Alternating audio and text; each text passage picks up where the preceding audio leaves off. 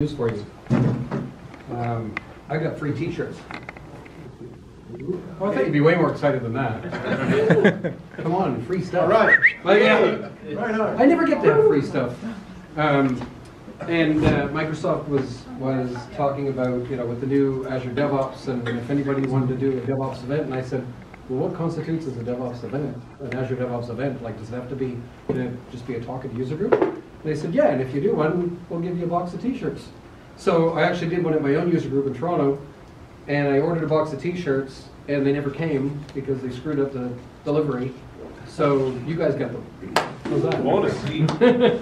So I'll, uh, sometime, maybe at break, you guys can come up and, or at the end, and I've got, I've only got five, like, I think I've got five XLs, five large, five medium, five small, and I think there's three ladies, large, medium, small, so some of you might be getting one for your wife or child, but Is that the Canada Post strike benefit? yeah, I don't know.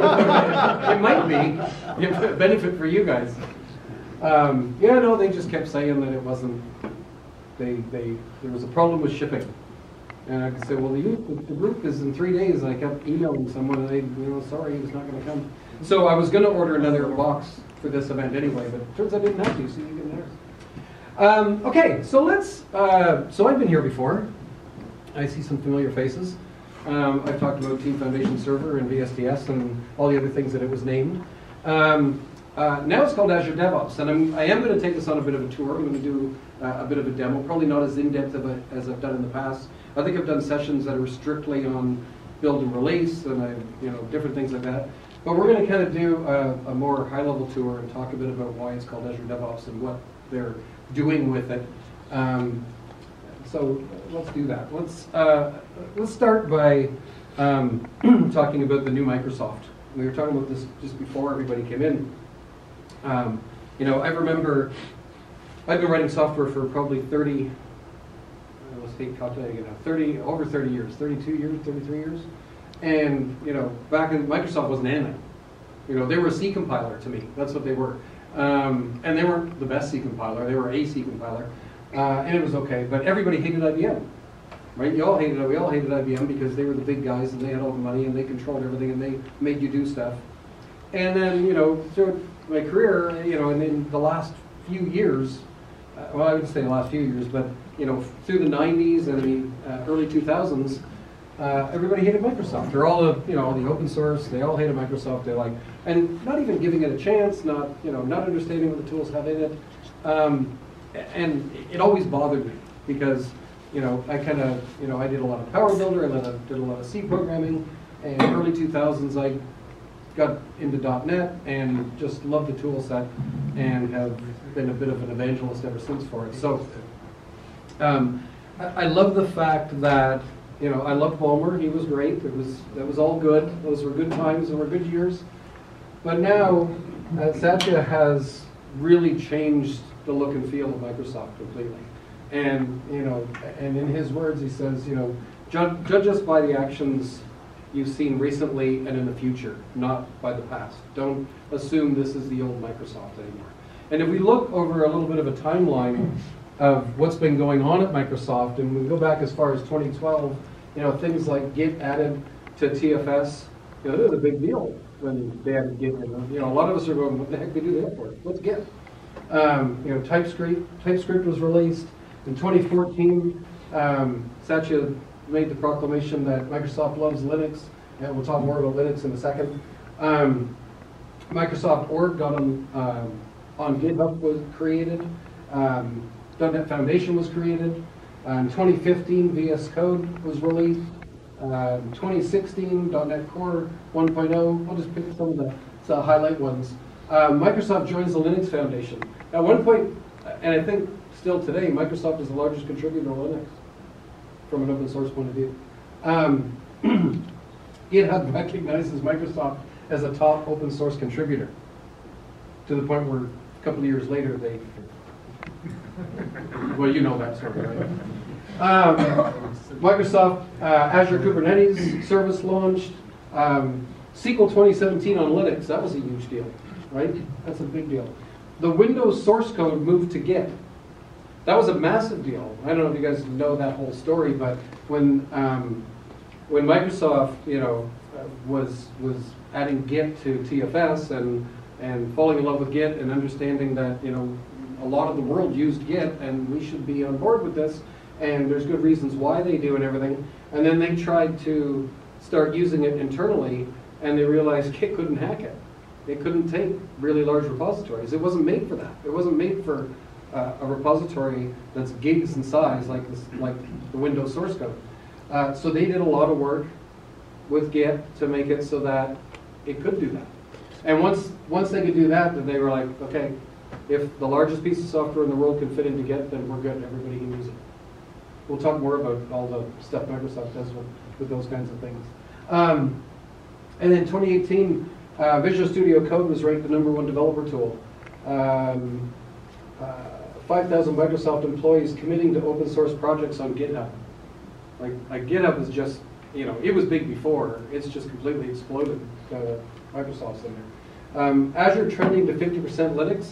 That's actually not true. Uh, more than 50% of the VMs on Azure are Linux now. More than half. So, you know, as you can see, this, you know, this is a plan that he had, that he's, that he's taken Microsoft on this bit of a journey uh, up to 2018. And, you know, uh, if you're at all involved in the Microsoft world, you've seen this happening. And, and to a lot of Microsoft people, it's probably a little bit scary. It's like, you know, where's my .NET? Where's my, you know, what's this core? What's all, you know, what's all this other stuff? Do I really have to learn Linux? Is somebody going to make me use VI? Like, what's going on here? I don't, I don't want any of that. Um, but it's a good move for Microsoft, right? It is, it, it's, it's really a good move for Microsoft. Um, so, you know, correlating in this, you know, and then, you know, we got the cloud and we got everything else that's going on in our industry now. Uh, and Microsoft has this uh, amazing tool called, um, well, last called VSTS. Right? So how many people in the room use either TFS or VSTS Azure DevOps? A few, okay, good. Um, so this is good. I'm glad it wasn't tons because it's a bit of an introduction for some people. Um, so TFS was a product that came out in 2005, believe it or not, um, and it was uh, called Team Foundation Team Foundation Systems, and it is essentially uh, was a product that gave us version control. Right, it was kind of the the predecessor after VSS because Microsoft bought SourceSafe. Terrible move, but but they got good people with it, so it was okay. Uh, and they brought Brian Harry along, who was the guy that wrote SourceSafe. And I've never had this happen before. Sorry about that. That's okay, come on in. Everyone, my special guest. um, so Team Foundation server, you know, based on SourceSafe, but they thought, okay, you know, a, sor- a version control tool has to have more than that. We also have to include, um, you know, some kind of way to track requirements and, and, that kind of stuff. So that's what TFS did. Very poorly at the time, but it was version one. You know, let's give it a break. Uh, it wasn't great or anything, but it was, but it was cool. It was good. 2008 came along, and it was, you know, it was a, a little bit better. They added automated builds to it. Um, so Team City had something to worry about, right? We didn't have to use all that stuff. Um, we could actually do our builds. We still build scripts, so that was icky. But then 2010 came along, and that was sort of that was a big moment. It was huge, right? We had testing tools. Um, the builds went to XAML, which sounds really crappy right now, but it was really good at the time. It was better than what they had before.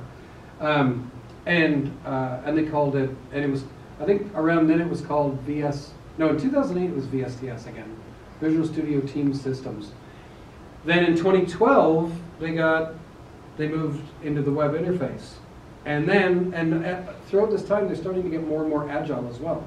So now, 2012 comes out, and we've all of a sudden got, we're getting an update three or four months later, and then another one, and another one, and another one, and then 2013. Well, we were seeing this product every three years, we were seeing an update. And now all of a sudden, every few months, we're getting an update. It's like, oh man, this thing's moving really fast and really, really good. Um, so now it's called VSO, uh, and it's in the cloud. We've got a cloud version called Visual Studio Online. Uh, and then they renamed that to VSTS again. We won't talk about that, it was a terrible idea. Um, and uh, it's growing in popularity, and the cloud version is great, and they're very agile teams, and they are putting out releases in that cloud version every three to six weeks. You're getting new updates to the point where some sometimes you're annoyed because you come in Monday morning and you sign into um, what then was VSTS, and the UI has changed on you, and you're like, where the heck did this go? And you gotta go find it again. Um, so they've kind of slowed that down a bit, uh, except for what, what we're gonna do to you today, I'll show you. And now, and then they decided, we're gonna rebrand this. We're going down the wrong road. So the road they were going down was fantastic. They had, you know, you could build Java apps, you could build iOS apps, you could build Android apps, you could deploy to AWS or Google or to um, Azure. You could, uh, you can just do anything on any platform. You can build on Linux. You can build on Mac. All of this stuff was built right into this tool called Visual Studio Team Services. So the problem with that was a lot of customers are out there and they're looking at it going, well, it's got Visual Studio in the name, so it must be all .NET stuff. And I do Java, so I can't use that. That's no good to me. Uh, not realizing, just you know, from a lack of knowledge, that they could be using Visual Studio Team Systems to build anything they want. I've, I, and I told you guys this at other groups, but I do a lot of work with the pipelines and uh, Azure DevOps, and I've built, I've never found a technology I couldn't build and release yet. I have not come across one yet. And you know, all kinds of stuff from Duck Creek, uh, GMC, Java, .NET, um, Dynamics, Power Builder, Delphi. I can just go on and on. It's just anything. If I can do it at a command line, I can do it in here. Simple as that. Um, so, uh, I went off on a little tangent about being able to build everything, and I forgot my train of thought.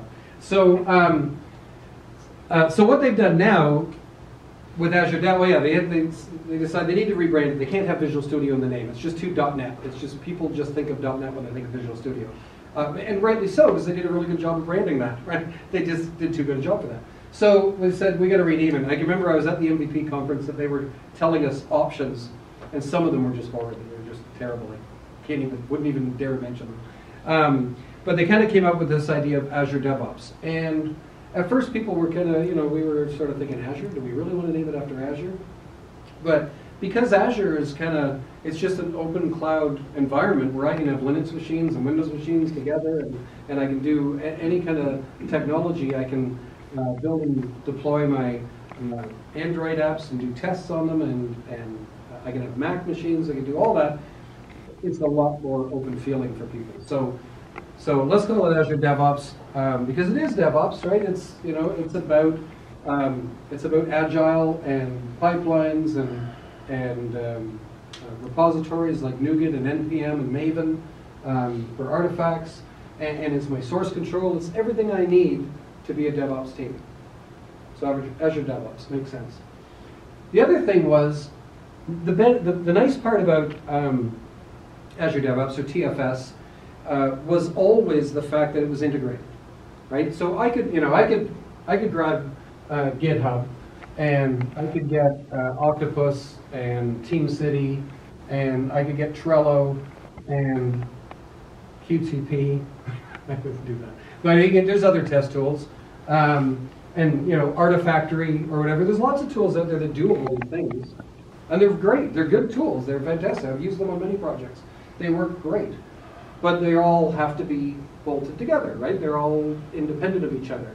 And the nice thing about this was it's one repository for all of this. So I can have, you know, when I do when I do a build, I know that that my source has been tagged or labeled with that build number, and I know what release uh, used that build to deploy to which environment. And these things are just completely traceable right across the whole environment, across all the products.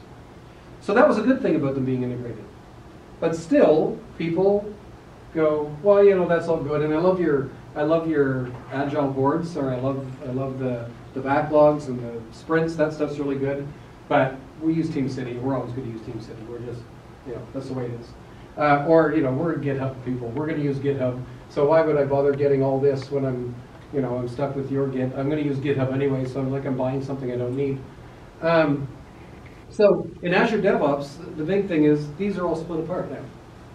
They're all completely integrated, but you can get them split. You can say, I got a project that only uses Azure repos and pipelines. I got a project that uses GitHub and pipelines and Azure boards, and I got another project that uses um, uh, TFVC and pipelines and Trello. So I can mix them out, and I'll show you how you can go into your project and you can turn off, uh, turn them on and off so that you can see what, you can only use the ones that you want.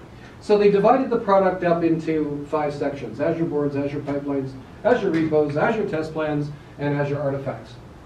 I'm gonna do really quick what those, what those are, and then I'm gonna, I'll take a sit and do a bit of a demo. Um, so Azure Boards is probably what you think it is. Azure Boards is all the backlogs and sprints, uh, and all that kind of stuff. All the stuff around, um, the, uh, the web interface and VSTS uh, that gave us the ability to set up teams and, and um, do our work tracking. It's got the Kanban boards, the task boards, and all of that kind of stuff. Uh, uh, the sa- all the same functionality that you might be used to from TFS or, um, or VSTS, um, plus a whole lot more. There's a lot of really nice user interface, uh, uh, nice advances in the user interface to make it a lot easier to get around, um, and a lot of new features. And new features coming fast and furious, so very, very quickly. Um, one thing I'll just point out about this, um, there's another section that they all get, and that's kind of the reporting, the dashboards. And for those of you that have used Team Foundation Server, and you have uh, uh, reporting services for reporting, because what happened at TFS, it came with a report server and a warehouse and a cube. And it would, every couple hours, it would dump data from your collection into this warehouse so that you could do reports on it. And there, it came with a handful of reporting services reports that you could run. And it was all integrated very nicely and it worked very well. And you could also build your own reports off the cube or off the warehouse if you wanted to, and a lot of people did, and that's great. When they moved to the cloud, they kind of abandoned the reports. So if you if you went to VSTS in the cloud, you didn't have really have any of that reporting at all. Uh, and that is coming back. Microsoft has it was like it was just low on the backlog. That's all. There were more important things to do at the beginning.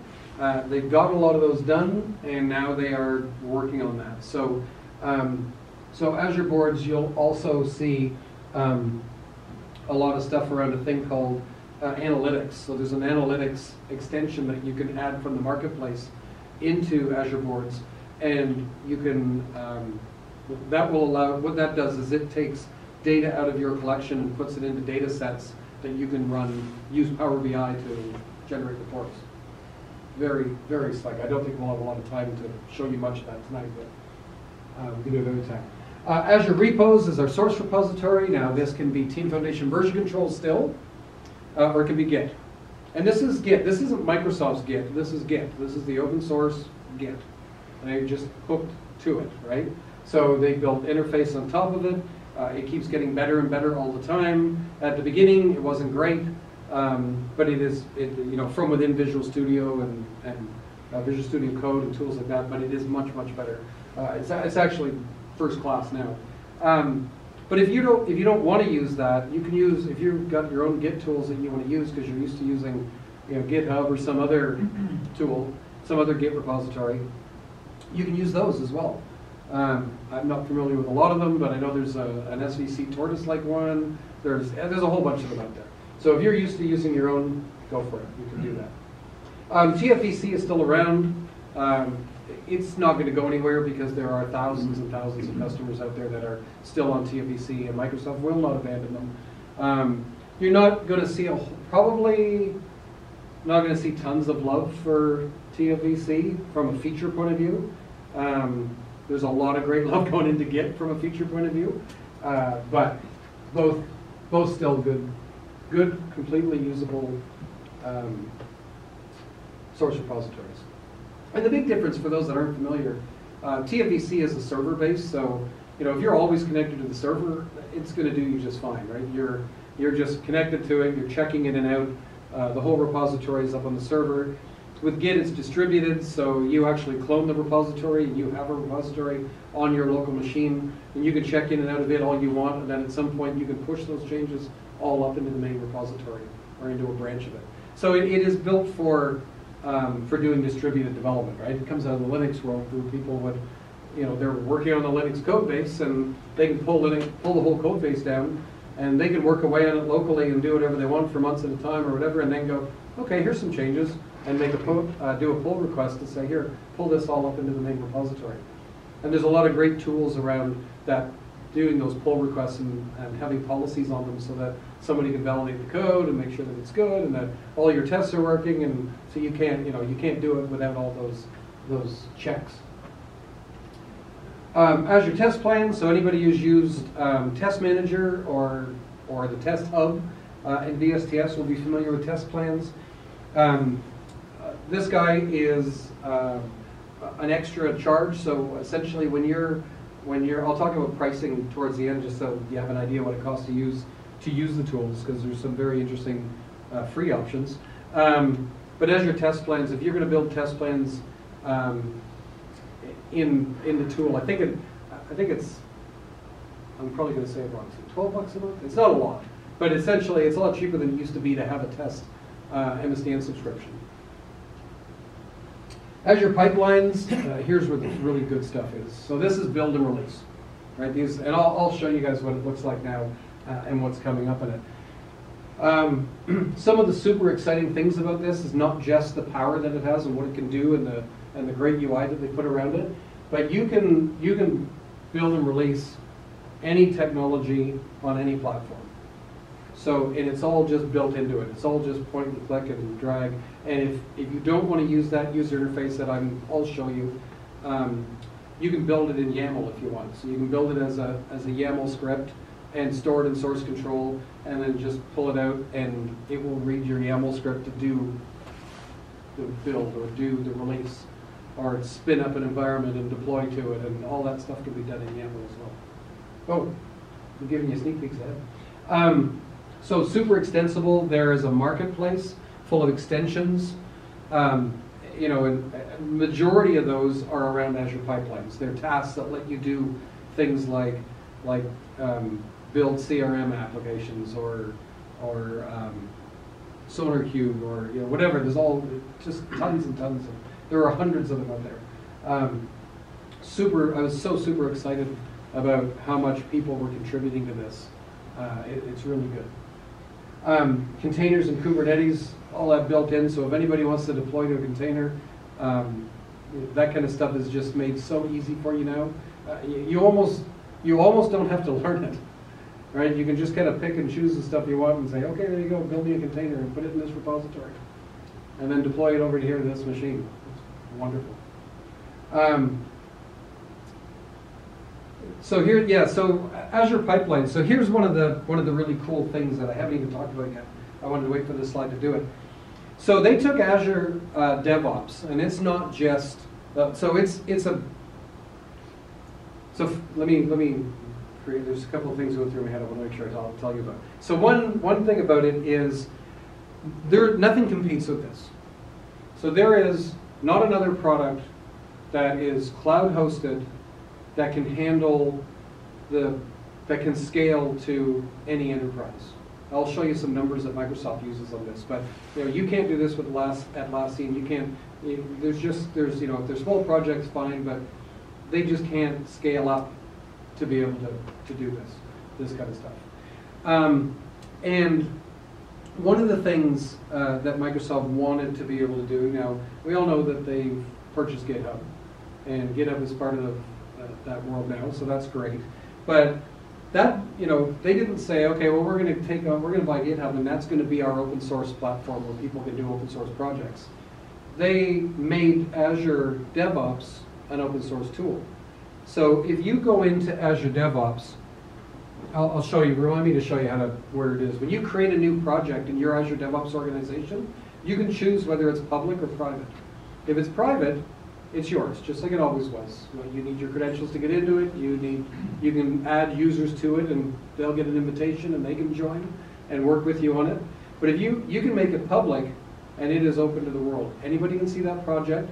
You have full use of Azure pipelines, um, the repo, Azure repo, um, Azure boards. All the tools that are there are available to you. Um, if you have a public project, you get free unlimited build minutes for your public projects. So if you set up an open source project in Azure DevOps, you get automated build and release for free. It is part of the deal. So GitHub, nobody else does that. You can now hook up Azure pipelines to GitHub, I'll talk about that later, that's a whole different thing.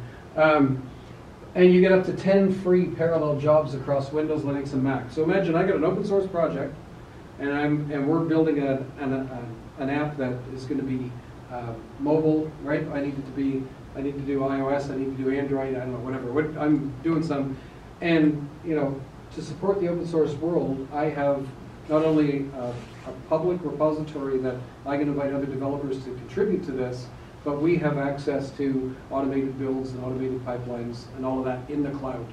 I don't have to have any infrastructure to do it, to set it up, it's all set up for me. Sweet. Any open source developers in the room? Anybody do any open source? So you're way less excited about this than. When you're talking to a room full of open source people, they go, what? It's free? Um, integrated with Git, so Azure Pipelines is now available uh, to any uh, developer from the GitHub Marketplace. So if you go to GitHub, you can actually hook Azure Pipelines up to your, to your GitHub project. It's amazing. Uh, Azure Artifacts.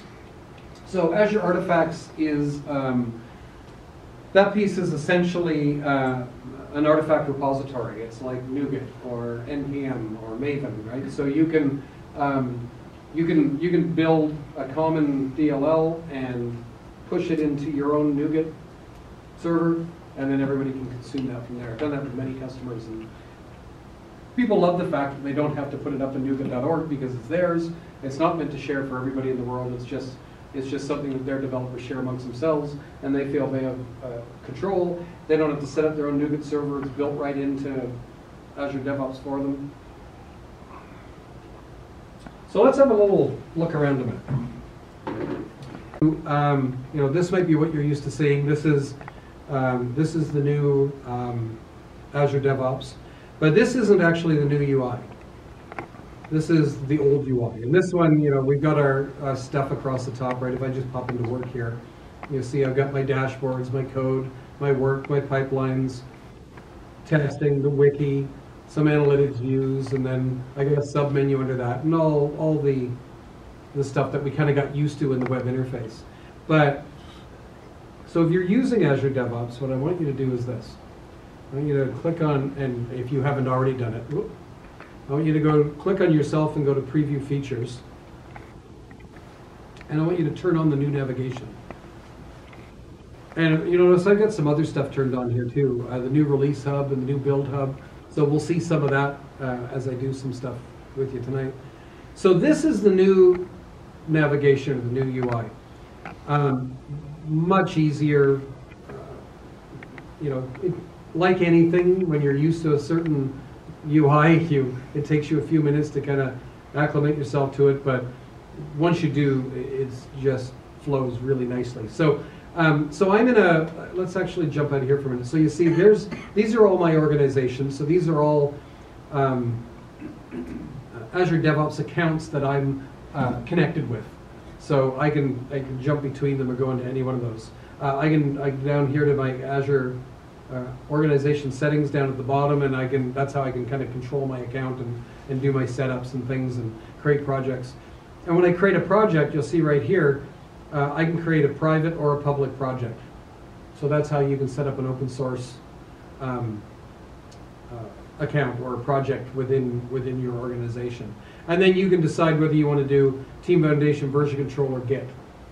And just as a, a lot of people don't know this, I'll just kind of throw it out there. If you're not sure, uh, you know, if you're developers or you are very used to Team Foundation version control or SourceSafe, that kind of tool, and you know, the, you're a little bit worried about the learning curve to Git, but you still would like to try it out in that. If you create a TFVC project, you can add Git repos to it. So You can have both in the same repo if you want to. Um, so each of these, you know, different projects. So let's just jump into a project really quickly. Uh, and then when I'm from within this project, um, on the overview, you can see down here, this is where I can turn on and off services. So I've turned off artifacts because I'm not using them. As matter of fact, we, won't do anything with test plans tonight. I'll turn them off really quickly here too. So now, by turning these things off, when I um, when I go over, see my test plans just disappeared from the side. So I can simplify the user interface a bit. I can just say, let's turn these off and let's, uh, let's just worry about the things that we, um, that we want to use and not worry about the extra stuff hanging around. You couldn't do that in the old UI, so you always had everything across the top regardless.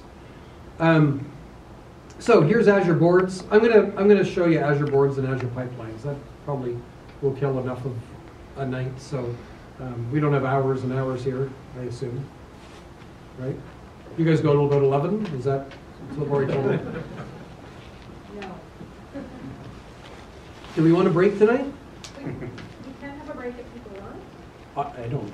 I never want a break. I'm happy to just talk, but if everybody wants a break, we can take, you tell me if you, if we need a break. Say about twenty after, we Okay. do like a five-minute break. but- Okay. Everybody can grab a t-shirt. Um, so Azure Boards, so here's my Azure Boards, right? Um, so essentially, I've got um, backlog, so I've got multiple teams here. Uh, this isn't nearly as confusing as, as it looks. Here's all the backlogs right here. These are just sort of team ones and favorites and where I was last time, a, a cache. Uh, but I've got a couple of teams. I've got a team in London and a team in Toronto, and then I've got an external vendor. Um, and if I just go into my Toronto backlog, you can see here's my backlog. I can flip between whether I want to see a backlog of epics, features, or backlog items. So I'll just look at my backlog items. I've set up the project to include bugs to be uh, treated as a requirement, so they show up in my backlog instead of on my task board. Um, but any, how many agile teams in the room?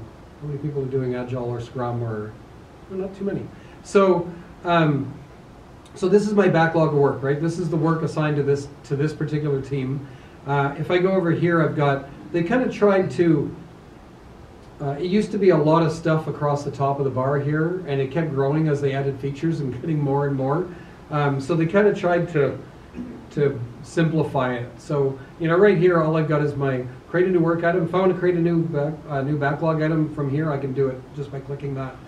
If I want to switch between my Kanban board and my backlog, then there's that guy right there. It just lets me switch really easily between them. Um, over here is just a, a bunch of view options, so I can turn parents on. So if I'm in the backlog looking at backlog items and I turn parents on, it'll show me the features and then the epics. Um, forecasting lets me forecast out how many sprints out it's going to take to get all this work done, assuming I know the velocity of my team and I've got some story points assigned to these stories. Um, really nice feature is this planning. So if I turn on planning, see what it does? It over the side it shows me all the sprints that I've laid out already in the system. So I've gone as a product owner or scrum master or one of the team members or maybe just as the team we do it together. But we've we've laid out up to four sprints ahead. Uh, you can see this is sprint one is my current sprint. It tells me that right there. Uh, and I can just take items and and just drag them over here and drop them on a sprint and say oh I'm going to do this in sprint two. So you can do your sprint planning really easily. Just pull off the backlog drag it into a sprint nice and simple.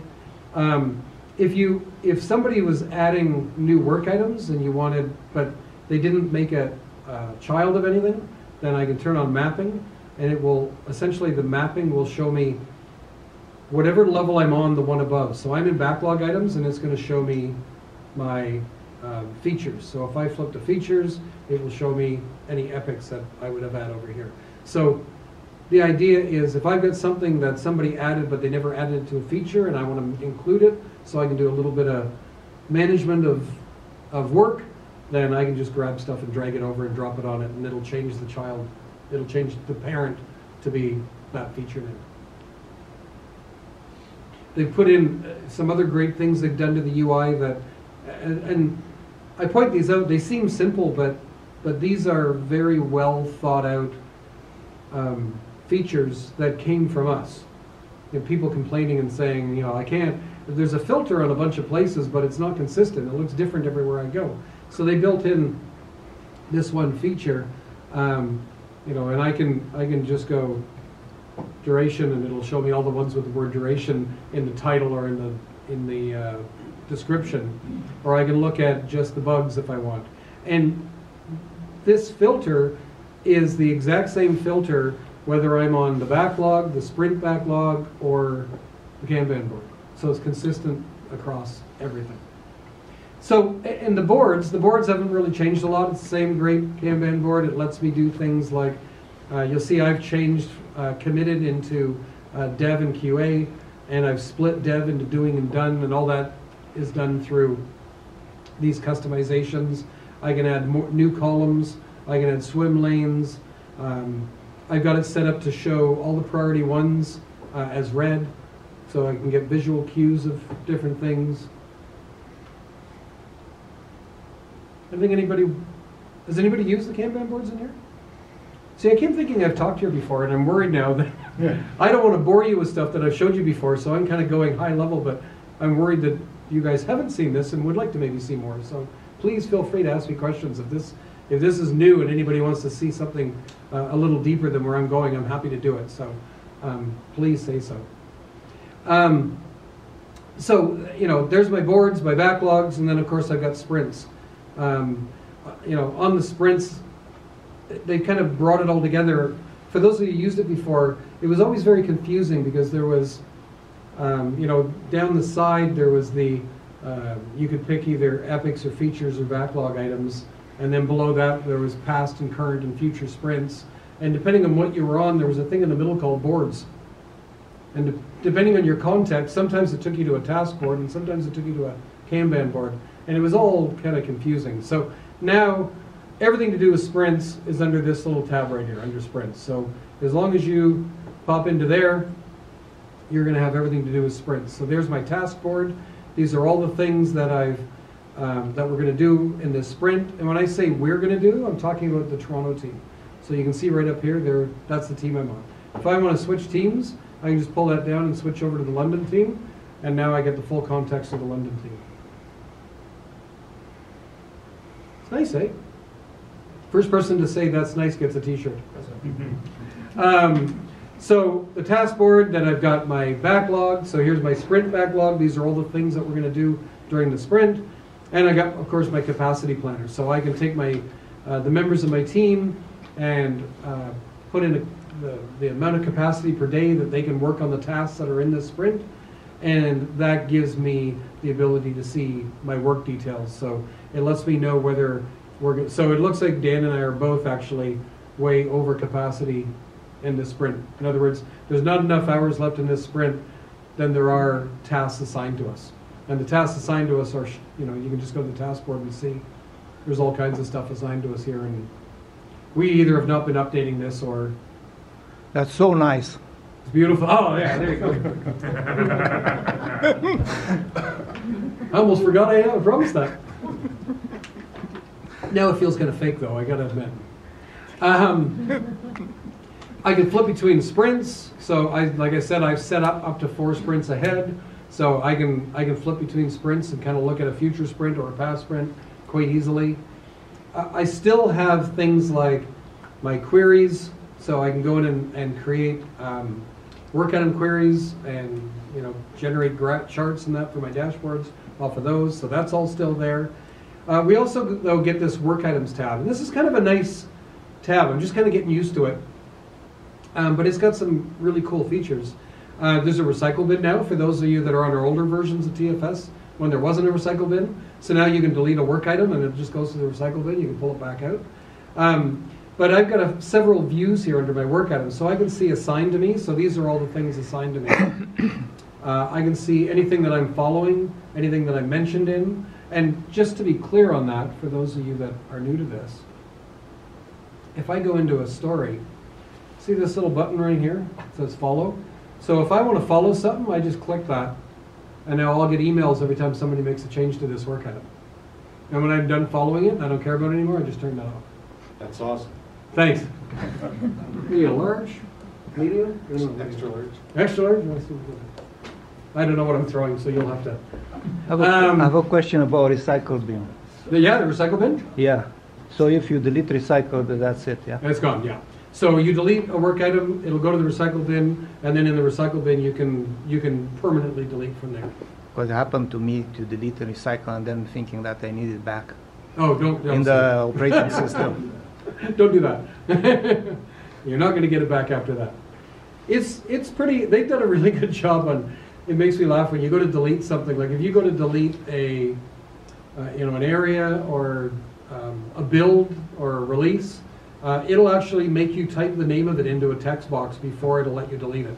So you can go delete, and it'll open a dialog and go, are you sure you want to delete this? Type its whole name here, and you're going to type it exactly as it is before the delete button will come on. So they're protecting us from ourselves very nicely. Um, I mentioned that there's another uh, query there, uh, not only what I'm following, but what I mentioned in.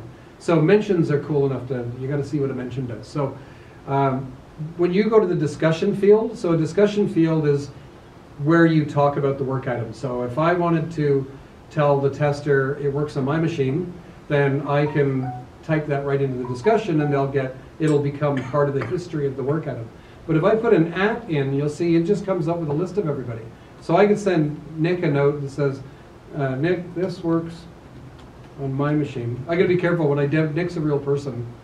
And sometimes I demo this and I forget and they get an email and then they call me and give me, were you demoing last night? Yeah, sorry. Um, so I can, if- I save this, Nick will get an email that says, hey, you were mentioned in, you know, uh, backlog item 1893, and the message was, this works on my machine. And he has a link back to this, it'll bring him right to the work item. And then, just jump out of here. I don't want to save you. I want to go back. Um, so you can see there's all the things that I'm following, and this kind of gives me a way to also like unfollow stuff, right? I can, oh, I forgot I've been following that for ages and I don't care about that anymore. You can turn the following off. Or you can look for stuff that you've been mentioned in. So this would be anything that I've been mentioned in. I think it kind of goes the last 30 days or so. It's not everything you've ever been mentioned in. It's, it's recently mentioned in. Um, so, but really, really nice views. So, um, and then you just got your activities. So things that I've recently made changes to. So here's sort of the stuff that I've been working with lately. So they've really gone very serious into making it so much more useful for every day and making our lives um, a whole bunch easier. Um, a couple other, I gotta show, I gotta show you this because this is a cool thing. Um, there's a search, there's a code search feature now. So watch, if I'm in the repo, see what I can do here? I can search for a class through my code. So I can go, That's nice. yeah, and that's, isn't that sweet? So I can go, again, I got a t-shirt. Who said that's nice? Um, so I can go class, I don't know what classes I have in here, I'll be honest with you, uh, product something. Um, and it'll go off and search my repository for, um, for code where there's a class, hey, I found one, where there's a class called product. Sweet, eh? So that stuff is in, and I'm going to show you this because uh, this will take us to a break time maybe. Um, that is that is built as an extension to Azure DevOps. And if you go, if you look right over here, see this little shopping bag? So this is where you can browse the marketplace. And if we go over to browse the marketplace, here are things that we can add in to enhance what Azure DevOps does. And this is honestly absolutely chock full of fantastic tools. Um, some of my favorites are uh, Code Search is one. Um, plans, I'll, I'll show you guys plans really quick in a minute. Um, the analytics is another good one that you want to add. Um, analytics gives you um, those data sets from your collection so that you can report on them.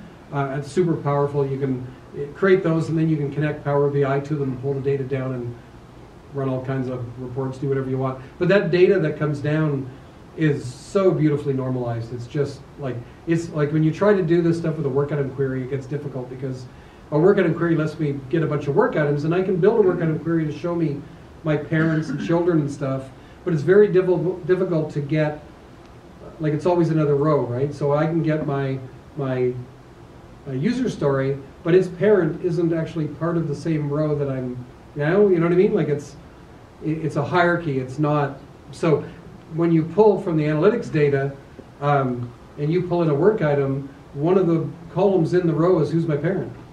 So you can really easy get to, just tons of really good stuff in there. Um, but look, there's tools for ReSharper, um, there's code analysis, um, you know, above and beyond the code analysis that comes with Visual Studio. There's, uh, you know, if you're doing um, Microsoft Dynamics stuff, there's tools for Dynamics. So these might be things that aren't built into Azure DevOps that somebody has added, uh, created um, a tool, an extension that we can add in. They're, it's kind of a self-governing world, right? We rate these. Uh, you can see the ratings on them. So that folder management one is by Microsoft Dev Labs and it's got four stars, so it's probably good to go. Um, if it says Microsoft, so see right here, test and feedback, code search, they're Microsoft. That means they are Microsoft published tools. If it says Microsoft Dev Labs, it means it's, and you can correct me if I'm wrong, but this is my understanding of it, is that they're Microsoft employees that are kind of externally on their own time writing tools for extensions. So it's kind of a, um, it's not, you know, it's not a supported by Microsoft, but it is Microsoft. Um, and then, you know, other stuff, other vendors, SonarQube, you know, has written one for SonarQube. Um, uh, and then there's individuals, there's just people, you'll see ones like, you know, Bob's Tools and Bill's Tools and Betty's Tools, and some of them are absolutely fantastic, and you just check, just check the rating and, you know, read about it. Uh, pretty much the source for most of the uh, open source, well, like the ones that people are adding, uh, are all in GitHub, so you can usually just kind of like, um, you can usually jump into the, to the tool itself, it'll tell you about it. Um, and quite often, here's your, you can go to support, and this will likely take me to GitHub. Nope, this took me to a blog. That's a different. The one I picked that doesn't take me to GitHub.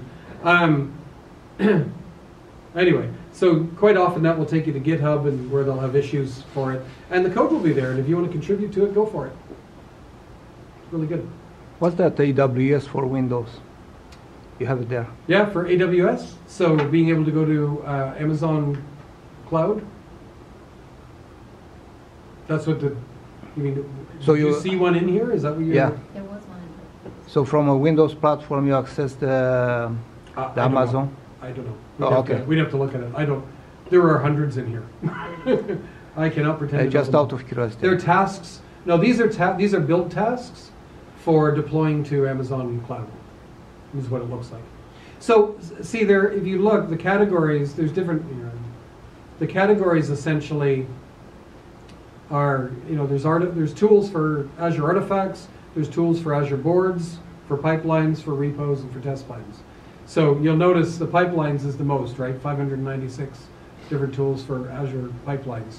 And those are essentially going, when we look at Azure pipelines after break, you'll see there's tasks that you can pull in. And we can actually get to the marketplace right from within a build. I'll show you how to do that. Um, but those are, those are tasks that allow me to do things during a build or during a release. Whereas the Azure Boards ones are usually more uh, kind of reporting things like that work item visualizer. Um,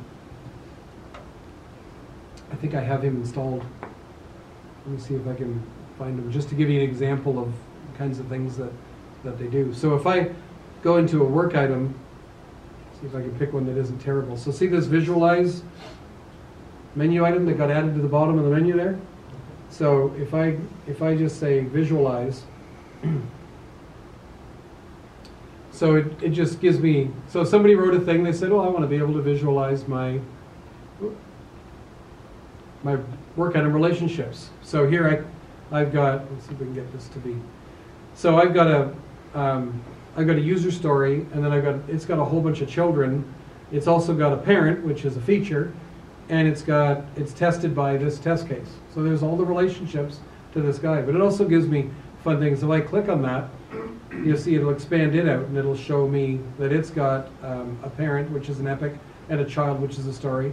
And now I can dive into that child and see all of, whoa, getting a little smaller, and see all of its children.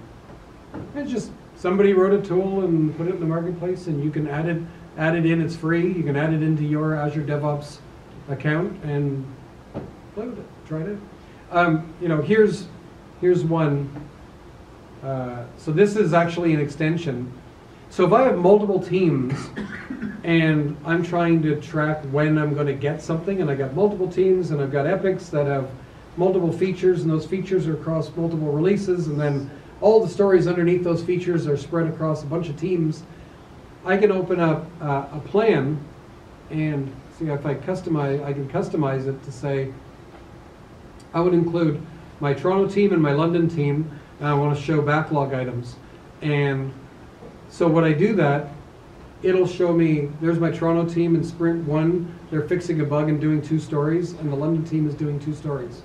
And in sprint two, they got three, and I can expand these and see what they are.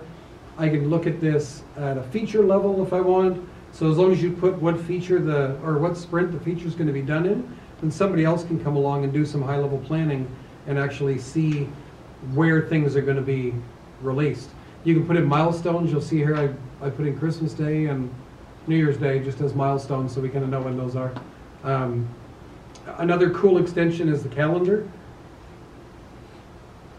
So this is a team's uh, calendar view. So right here, we, there's sprint one, you can, I don't know if it shows up for you guys. Does that show up a little darker there? Yeah, Yeah, from the 19th to the 30th? You say, yeah, did you already get a shirt?